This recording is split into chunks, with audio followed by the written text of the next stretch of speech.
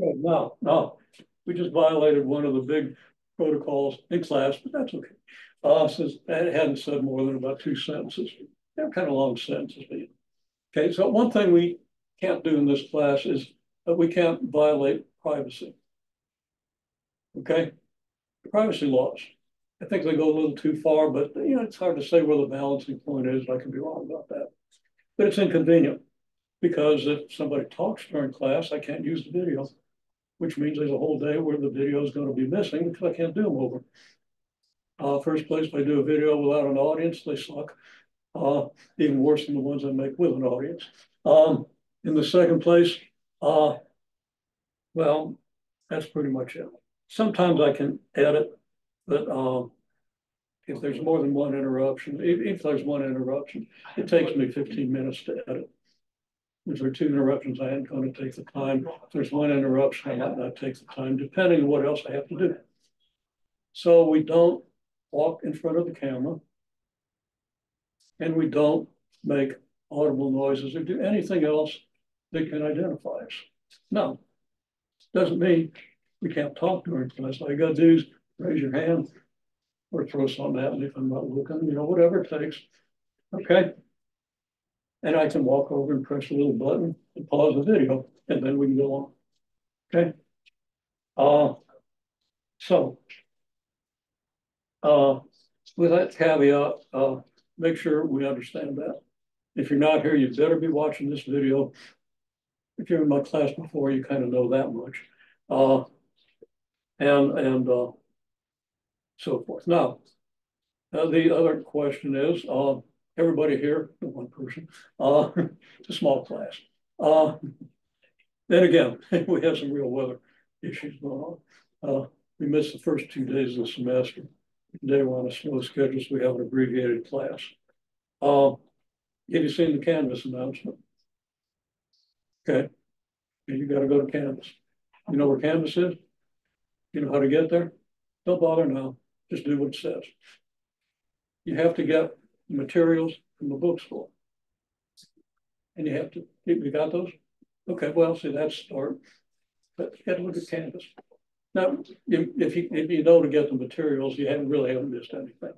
Uh, and it's probably the only time we're going to use Canvas because Canvas is something that isn't very useful to me in this course or to us in this course.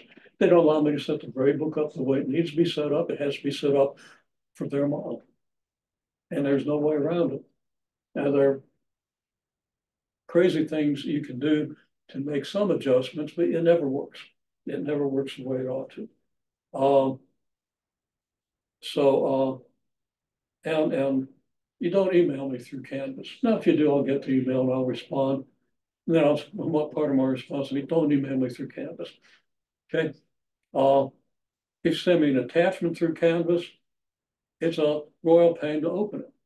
Whereas you send me an attachment from your VCCS email address, which is the official address used for this course, I just click and it opens. Okay. And I probably won't open it. Because among other things, I keep track of those attachments and I can't keep track of anything that's sent to me through Canvas. It's, yeah, there might be a way, but nobody's been able to tell me. We have some real experts. If you haven't asked the question, right? Kind of like prompt engineering. You know what I'm talking about? Chat, GPT and stuff know how to ask the right questions and, you know, it's, it's, it's, it's useful stuff. I'll be talking about it, but you're not required to use it by any means. Um, okay. Uh, so anyhow, there it is. Uh, quick synopsis. I'll read the syllabus and we'll go over it next time when everybody's here. Okay. Or when those who aren't here don't have an excuse anymore. and they're on their own as far as reading the syllabus people I've had before know what's in it. Uh, very similar to what we've done before. Okay. Uh, your primary grade in this course is going to come from tests. Okay. Probably 90% of your grade. There's also homework and quizzes, which is probably 10%, maybe 15, depending. I don't remember myself how I finally ended up setting it up because I went and revised everything after I missed the first couple of days. Don't remember all the decisions I made I've got like seven syllabi to edit. Um, and, and, um, I didn't know until last night that we were even having class today, so, um, that was ready either way, but, uh, and I haven't set up the schedule of assignments. Can't really do that until you know when the course starts. Okay, I'll, I'll be able to do that rel relatively quickly, but it's pretty much set up. Actually, I think I've pretty much done this one. Um, the uh, homework, uh, it's real easy to get everything right on the homework because you probably find it somewhere in the internet. So I'll spot you that much if you want to do your homework that way, but you're not going to learn anything. And the tests, which are 90%, you know, not, not so much in this course where people actually have the uh, uh, maturity and educational experience to know better. And I'm sure you do. Uh, but you, you just don't want to use a lot of help when you're doing the homework. You want to read the material, look at the examples, learn it, and then try to do the homework without looking at any of that. You're probably going to end up looking back. You're probably going to end up looking back at the tail. Okay, so an example looks something like this. Let's look back. Okay. Oh, we did something like this in class. I took notes. Let's see. Ah, I can't find my notes. Didn't write them down coherently. Uh, let's look at the video. No, that takes too long. Let's look at the text. okay. You get into that that sort of thing and use your own judgment. Yeah. I'm not wedded to doing my videos, but what we do in class is largely I pose problems, you solve them. I pause a video while you solve them. I walk around, let's see what you're doing. Give you maybe a few pointers, get up here. And after I've identified that everybody's doing it right, I just do it real quickly. Okay. Or if they've been making mistakes on it, I talk about pitfalls and how you do need to think about things. And we just go through the course and that's what we do. All right. Uh, at least that's the plan. Uh, as the class evolves, as I get the interaction with the class, I can teach this course in a thousand different ways. I've taught this course more closer to 100 times than 50. Okay. Uh, and I teach it differently every time. Uh, it's convenient now that I'm approaching middle age. Uh, uh, I find that I actually forget things that I did a year ago. Never used to. Okay. Uh, so I kind of sit down. I never, never look at the text and just read, think the course every semester. And I'm only teaching it once a year. I used to teach it three times a year. Um, but I'm not teaching, teaching a lot of distance courses anymore. That was three times a year. Sometimes it's four because I was teaching one in class. Uh, uh, now, uh, I approach it a little bit differently. So it's always going to be a little different. So you kind of see how that evolves. Uh, if it turns out I can't pull that off in one of these years, that's going to be the case. Then I start looking at the textbook. I go by the textbook. Uh, better that I stay in touch with what the class is doing and respond to it. You know, I say, here it is. Good luck. Okay. So at this point, that's a little bit about my approach. You learn that as we go. Um, there are other things you, you should know.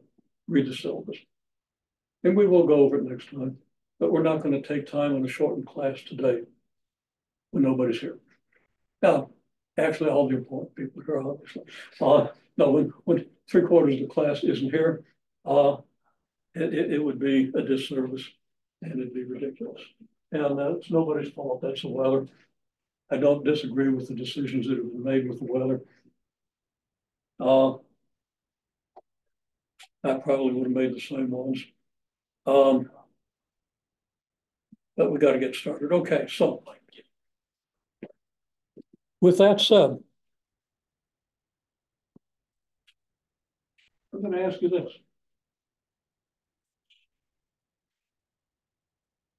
You draw a perfect circle like I did, well, it's not perfect. And I'm not sure I'm gonna find the center, but there's, actually, it's one of my better efforts, but it's, man. Looking at it from this angle, this side looked as big as this side, but I didn't cut it right. Okay, I didn't cut it at the low point, it's lopsided down here, it's still a reasonable representation of the circle. Okay.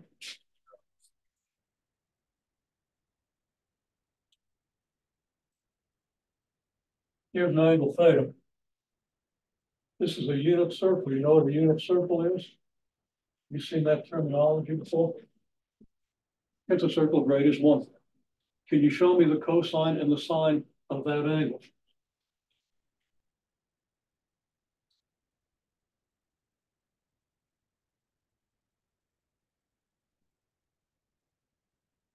Now, if you're watching the video, go ahead.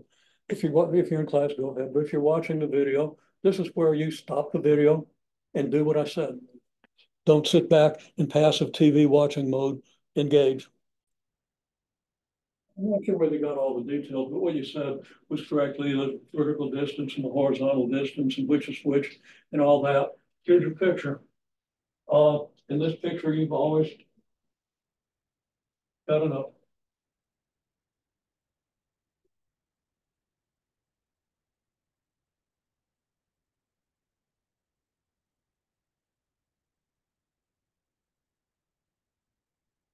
Okay, you understand? Okay, and if you don't understand and you're in this course, you're gonna have to go back to pre-calculus and look it up because I'm not gonna explain it. Okay. I shouldn't have to explain this, and I, no, I don't have to with students. Uh, if you really don't know, yeah, go ahead and email me or ask me after class. I'll give you a little explanation, but you're gonna be better off if you just look it up if you need to. It's your definitions of sine and cosine. It's a standard picture. It's one you've always got to keep in mind. Now, uh, let me ask you this. What's theta here? What's theta if your line is up here? What's theta here? What's theta here? And what's theta if you come all the way around here? Well, what I saw, what I typically see, I'm not going to say necessarily what one person here did because that kind of identifies your work. Uh, that's kind of safe. Theta equals 90 is not safe. Theta equals 180 isn't safe. Theta equals 270 isn't safe. And theta equals 360 isn't safe because you haven't specified the units of your numbers. Okay. Now, I'm not saying whether you did or not, but typically engineers don't put degrees on their angles, which is potentially a fatal mistake.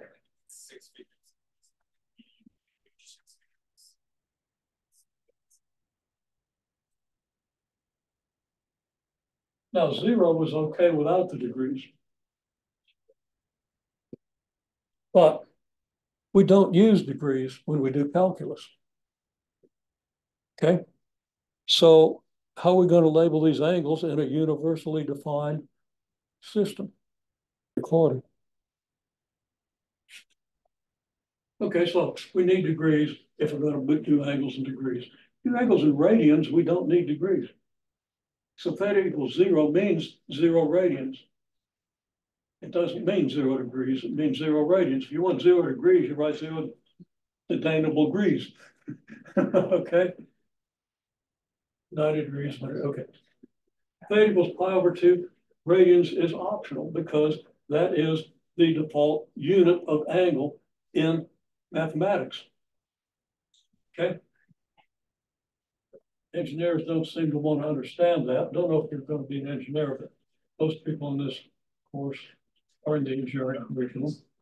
Uh, haven't asked you that. Okay, theta equals 360 degrees or 2 pi. Radians is optional. Okay. Well, we've got to build on this a little bit. We don't want to talk about elementary pre-calculus because that's all this is. Okay. And it's fundamental knowledge. So when you ask, oh, what's the cosine of pi over 2? You should know immediately you might not memorize it. Is it zero or is it one? I know it's one of those. Which one is it? Yeah, yeah. Well, that means you're up here. It means you have zero X coordinate. Okay. So this picture allows you to quickly avoid that confusion. So that's what that's one one of the big reasons you want this picture. then you got you know pi over four and pi over six and two two pi over, pi over three, two pi over all that stuff. Multiples of pi over three, pi over four. And you can write exact expressions for all those sines and cosines. And we will use those exact expressions and that's the way and how to derive it. Okay, for example.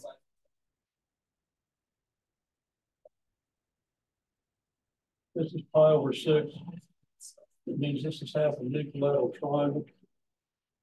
If this is one, it means this is one half. By the Pythagorean theorem, it means this is the square root of three over two. There's your cosine, there's your sine. Okay, should be able to do that with any of the pi over two, well, pi over two, pi over six, pi over four, pi over three. Okay. Use basic geometry, the Pythagorean theorem, set it up and get it. Um, it's just something you got to know because it comes up again and again. Those angles come up again and again. You don't want to have to stop. You don't have to punch a calculator. You don't want to have to Google it. You got to know. Okay. Well, now that you know it, going to give you a set of parametric equations.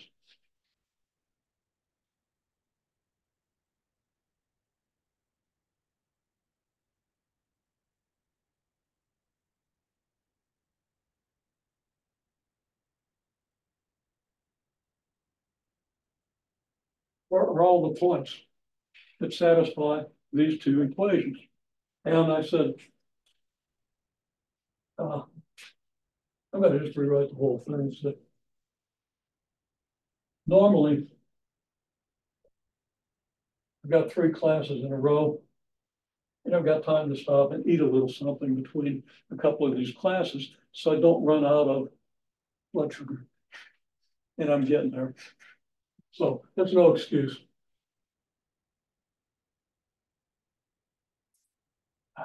Put it out x of t equals cosine t. Yeah, I'm getting there because want to write sine of t. Split it y of t. y of t equals sine t. Okay. What's a graph that look like?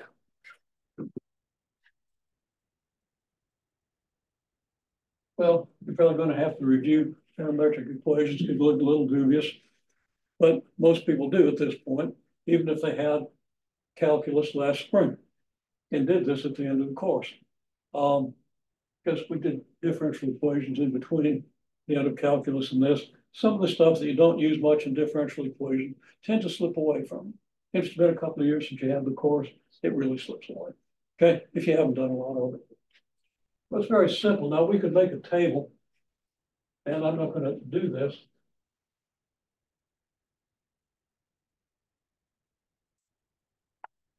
Because I can't seem to do it right.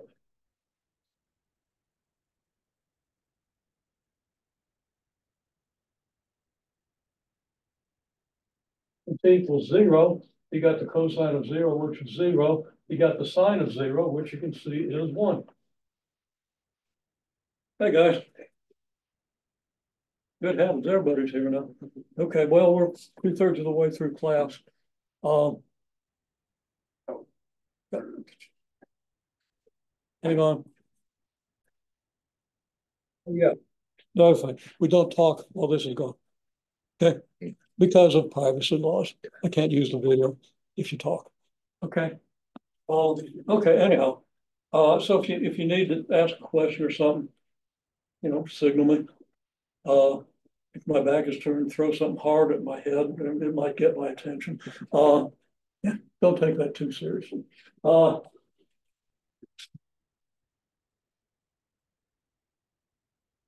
okay, so uh, really the only mathematical stuff we've talked about, you can look at the first part. We talked a little bit about the course of the video, which will be posted hopefully later today.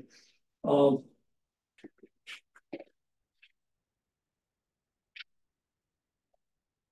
just talk about the unit circle, sine and cosine.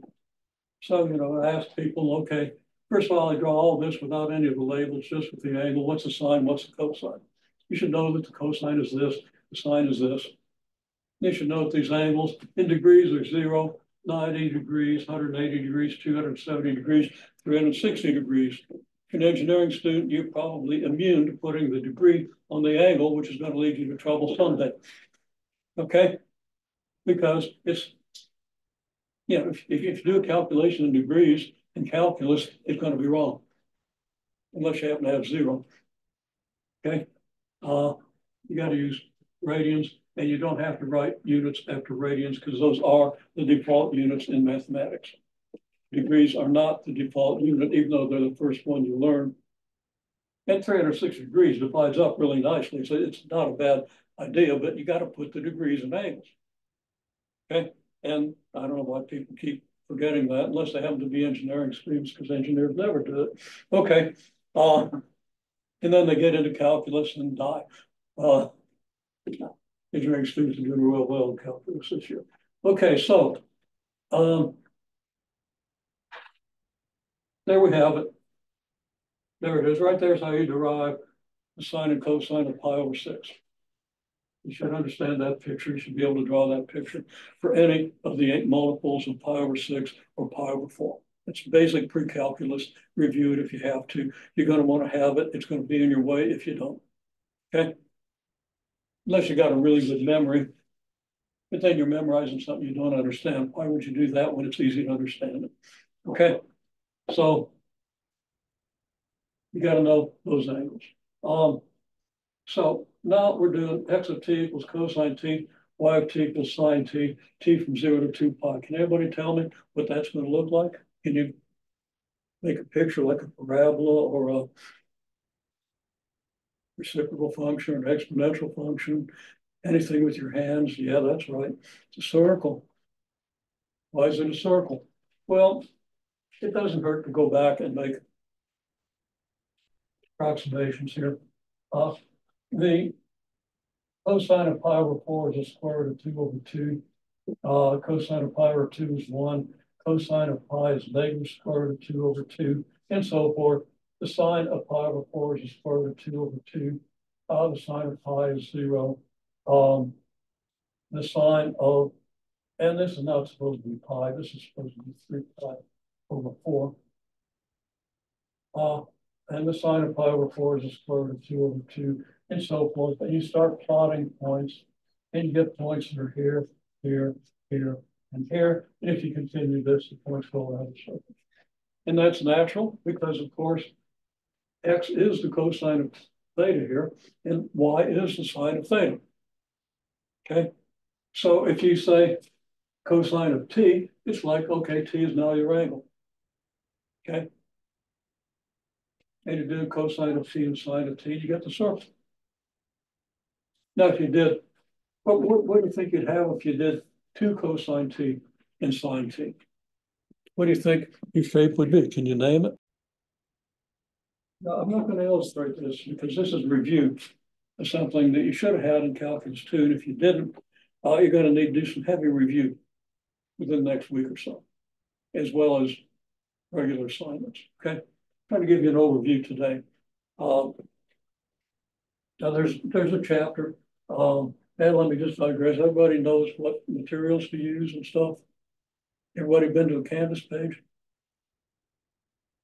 You go to the Canvas page and make sure you've done what you need to do, or otherwise you won't be able to find the videos. Okay. Now, if you have done that and still don't know where to do the videos, email me and I'll tell you, and I'll tell you why it was obvious, but I'm not going to be mad at you. okay. Uh, I'll even send you a link, but you should be able to find it yourself. Okay. Because the instructions are really simple. If you just go to this site, you click on this thing, you bookmark it. Then you click where it says Math 265 and you bookmark that and you've got it. It, it, it's that simple. Okay. Um, so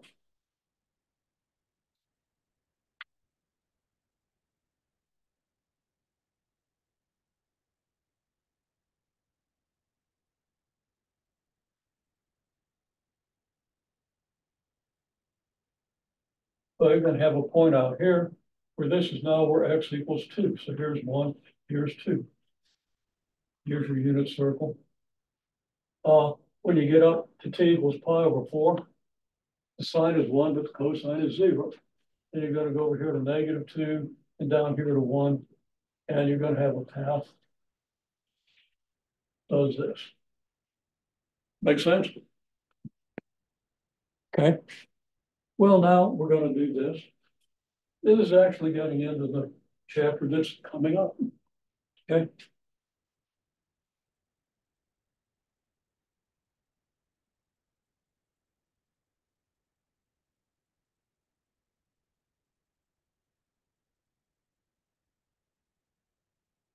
Now we use the I vector and the J vector. We're familiar with I vector and J vector? Is, okay. I familiar with I vectors and J vectors? I vector is a unit vector in the X direction. J vector is a unit vector in the Y direction, vector of magnitude one. So if I multiply the I vector by whatever the value of X is, then it means I go in the X direction that far. And similar with the Y, okay? And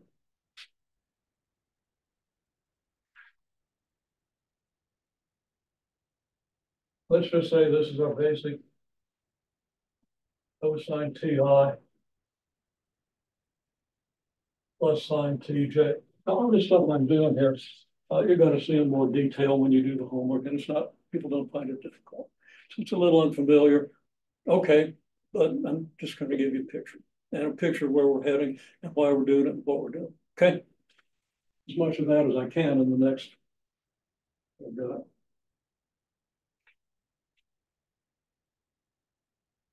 We've got till a quarter after twenty-eight minutes. No, twenty-three minutes. Okay. We might run over a little bit if you have time. Because people got confused because of all the compression classes. Uh, so anyhow, we have this. Okay, so let's see. If t equals zero, we got one i plus zero j, right?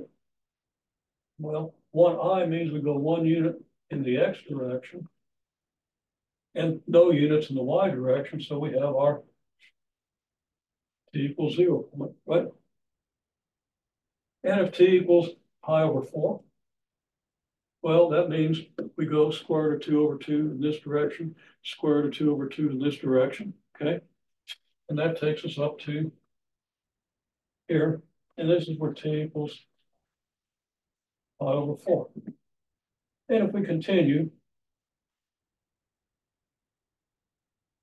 there's our t equals pi point and so forth. And we get the points on the unit circle. Okay. Now, let's do a little calculus.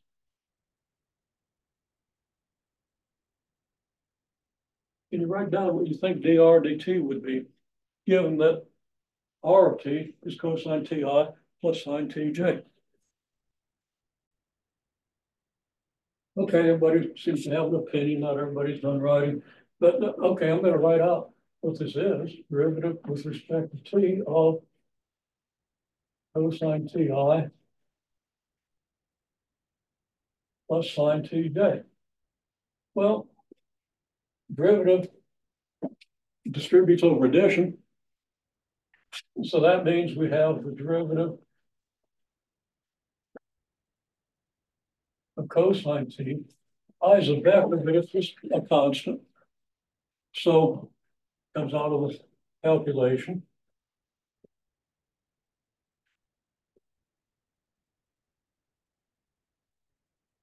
We have this. Okay.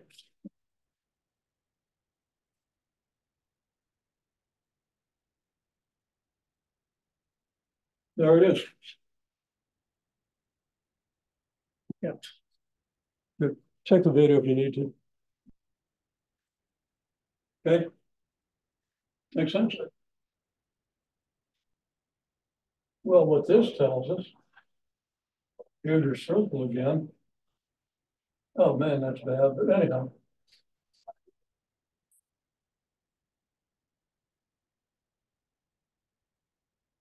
Right here is negative sine ti. Well, this is the t equals zero point. This vector is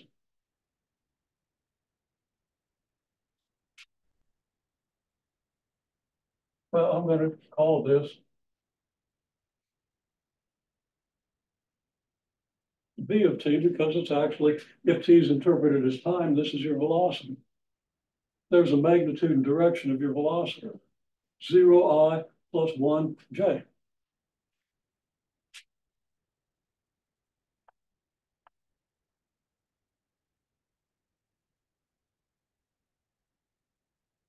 Okay, if we go here, it's negative cosine ti plus sine tj. Now I haven't got room to do a lot of labeling. I'm probably just going to label this one and leave the rest your imagination. But um, this vector is going to be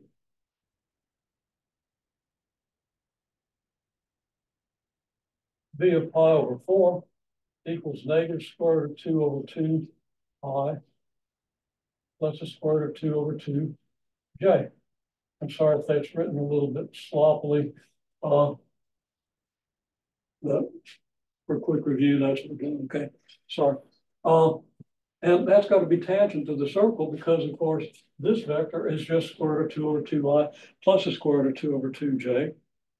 The dot product of these vectors is 0. How many of you know what dot product is? We're going to do that. So if you don't know, that's pre-calculus, but nobody ever seems to remember that. Uh, if you had linear algebra, you had linear algebra. You're in it now. Okay. Yeah, well, you're going to be seeing I and J vectors, quite a bit of them, pretty soon. Okay, so you got to get plenty of reinforcement of this. Um, all right. Anyhow, you can easily prove that this vector is perpendicular to this if it's not obvious. The vector from here to here would have equal I and J components. And this one has equal and opposite I and J components which means that the slope of this is the negative reciprocal of the slope of this one, which means that they're perpendicular. And in many ways, you can prove that these vectors are perpendicular. Okay, well, if you continue that around the circle,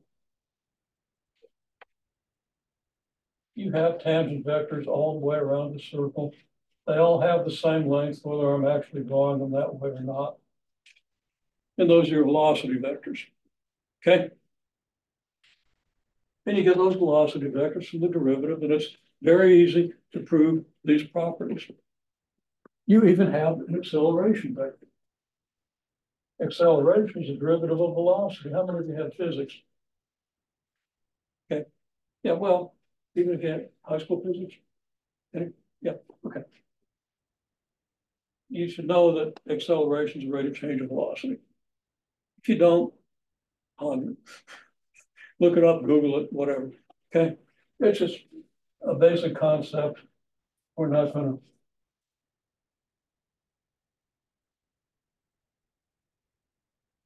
And the rate of change is the derivative of.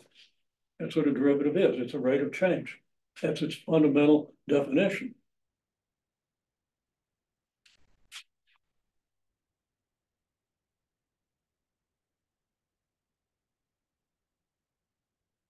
and it's trivial to take that derivative. Again, if you're a little rusty, that's that, that's okay. Uh, you get that rust out very quickly. It's negative cosine ti plus sine tj. And notice that this is equal and opposite to this. So you have your acceleration vectors. I'll use colors. So that vector is at every point at least at the points that we can verify, it's a vector toward the origin. And for these functions, it's a unit vector toward the origin. Make sense? Okay.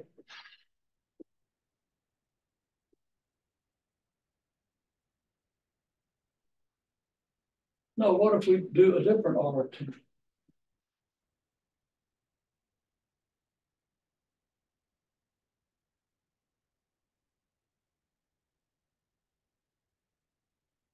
Cosine of t squared i plus a sine of t squared j. What's the derivative of that? See if you can do that the next few seconds. Okay, gonna maybe leaving the two off of the derivative of t squared. People did pretty well here. Okay, you understand it's a chain rule. And that's good. I'm happy with that. Get the rest of the rust out. As you certainly will when you do some more problems.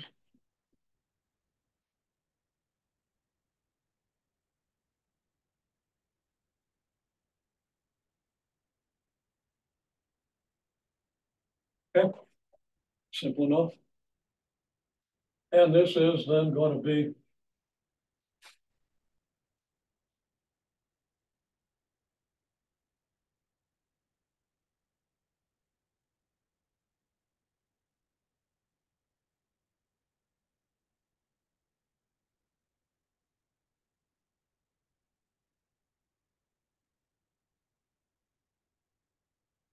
this should be a cosine here.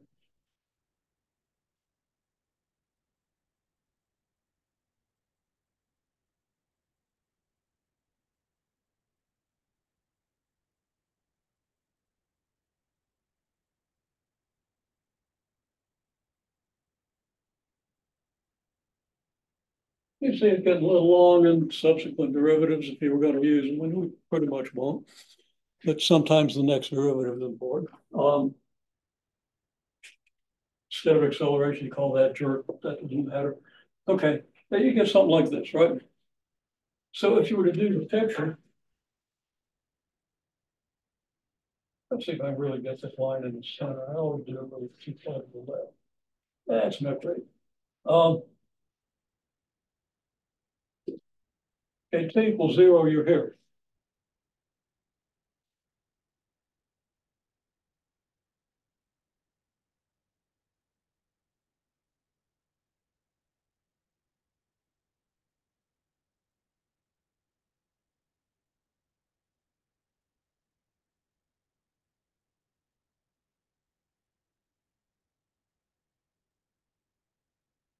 Come on.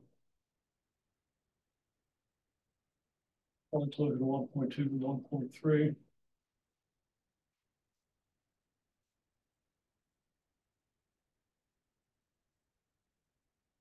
And that's gonna be, uh.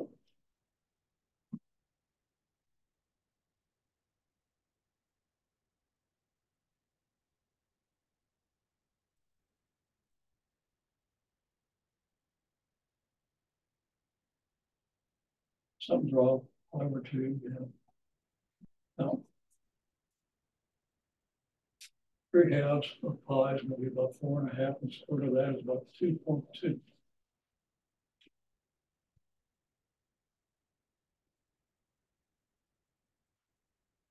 It's three pi over two. Uh.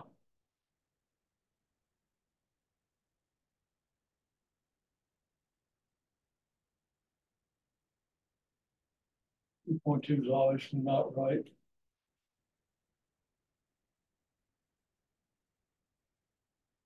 I don't think I have the numbers right. Again. Okay, if you look at these numbers, take these square roots and do it right like I did. Uh, you get something like 0 0.9, 1.2, 1.4, 1.8. I'm gonna fudge and call that 1.5. And that might even be right. You see that the time interval between these points is decreasing, which means that you're moving faster and faster. Well, what's driving your motion? It's the square of time. And if you square numbers, square increasingly big numbers with an equal interval between them, the intervals of the square get bigger and bigger. And I'm not studying that very well because I haven't eaten anything in a while. Okay. Now, if you look at the velocities, you still have a multiple of the sine of t squared.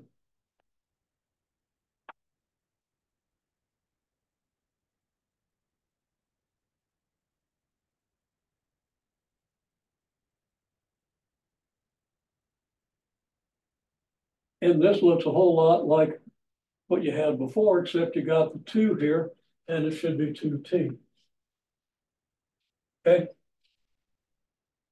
So when you're at this point, your speed is two t. Because this is a unit vector, the sine and the square of the sine and the cosine add up to one. This is always a unit vector here, but this vector keeps getting bigger and bigger, and that's something that's worth looking back at and thinking about. So you have zero velocity here. You have a somewhat bigger velocity here, then a bigger one here, then a bigger one here, and a bigger one here. Okay. Which means your change in velocity is not just toward the center, it is toward the center because this vector is moved in this direction. This vector from here to here, it's like it's rotated in this direction. That causes it to have a component toward the center, but it also gets bigger, which means there's a forward component to it. It means your acceleration vectors, which I drew in green before, now are not quite toward the center. Um, even less toward the center. Uh, and so if I don't even want to try to draw them because I'm not thinking as clearly as I'd like, uh, and acceleration get vectors get bigger. The point is that there's a component of the acceleration that's parallel to the velocity and a component that's perpendicular to the velocity. Okay. The velocity is always along tangent to the curve because that's the direction you're moving at any instant. So what you get is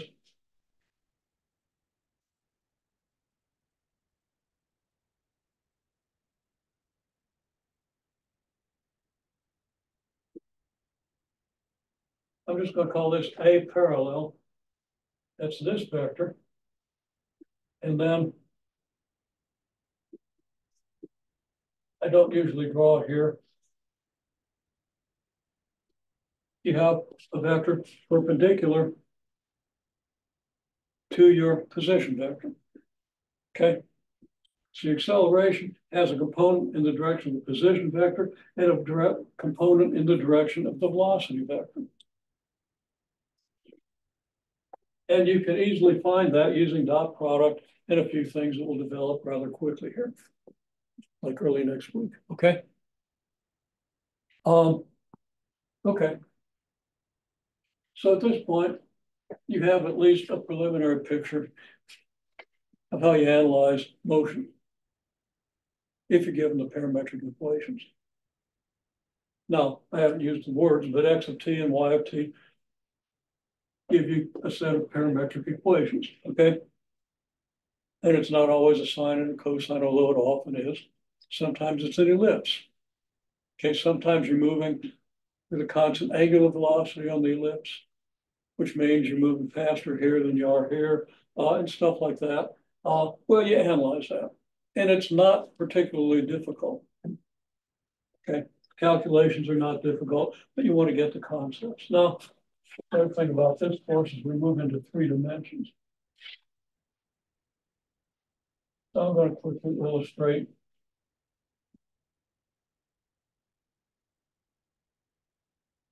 this unit circle.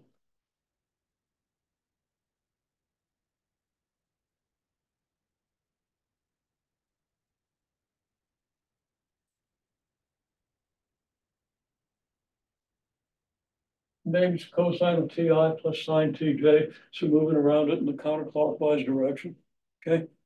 And of course, this is x, and this is y, and this is z, and all these are mutually perpendicular. All the angles are right angle between the axes, okay? Now you're gonna get real used to that in linear algebra, okay? And if you aren't already, okay? So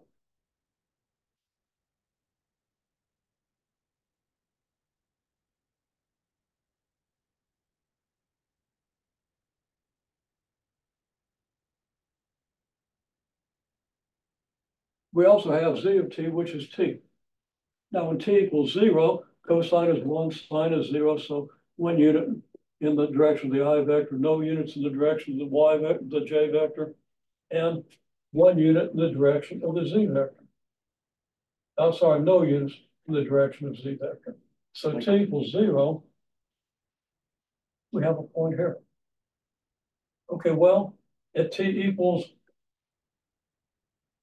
pi over two. The cosine is one, the sine is zero, so it moves us out to the point here. The i and j, the, the x and y components are here. The z component is t, which means we're one unit above. So we're at, like at a point here. Okay. Now at t equals pi, well, here's your t equals pi over two point, t equals pi. Well, in the xy plane, we're here, that's easy to see. And we've gotta do, be two units high, so we've gotta be all the way up here. Okay? Because z is now, when I say two units high, it's more than two units high. No, it is, it's two, okay. Out here, we're even higher. Okay, so we go all the way up to here. And when we get here, we go all the way up to maybe here. So we're following a path. It starts here, goes to here, comes up here, comes around here, and then somehow twists around and gets up here. I didn't draw that very well. It would look more from our perspective here. It's a helix. It's like a threads of a screw. Okay. Now, if you replace t by t squared, then it's still a helix because you're still on the unit circle because x squared plus y squared is still going to be one. You're still going to be in the unit circle, but z of t is going to change faster and faster. It's just like you're going up this staircase, it gets really steep really fast. That makes sense? If you got those pictures, that's a good start. And you want to think about them because the more you've thought about them, when we actually start doing the stuff, which we'll go through pretty quickly because it's actually pretty easy. Uh, you'll probably be happy about it. Uh, now, in this course, there's stuff that's fairly easy. The stuff that I've outlined here is kind of where we start. It's fairly easy. You do have to understand parametric equations. I will talk about that in some detail on Tuesday. Not for long, but in some detail. I'll go through it pretty fast, but if you play the video back, you get it. And if you go to other resources on the web, you can also get it. Okay, there are plenty of places you can get the information. Uh, we go pretty fast through the easy stuff so that when we get to the hard stuff, which at the end of the course is really hard, but it's fundamentals how calculus is used in most engineering. Okay, fundamental to a lot of engineering. Um, then we have time to solve. Okay. Uh, so, okay,